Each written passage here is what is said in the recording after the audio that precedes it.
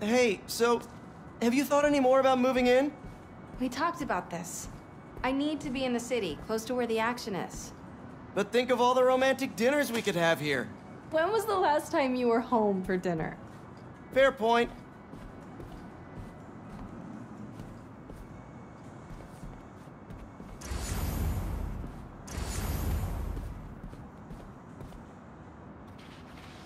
Oh man, I've been wanting to play this. Just need to find the time.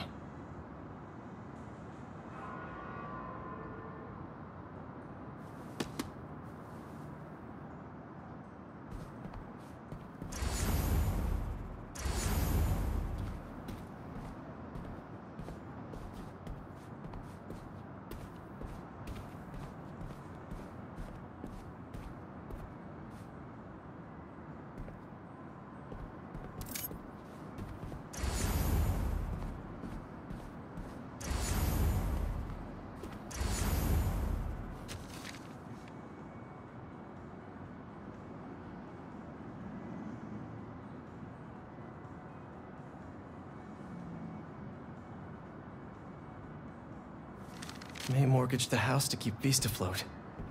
And now I'm sinking.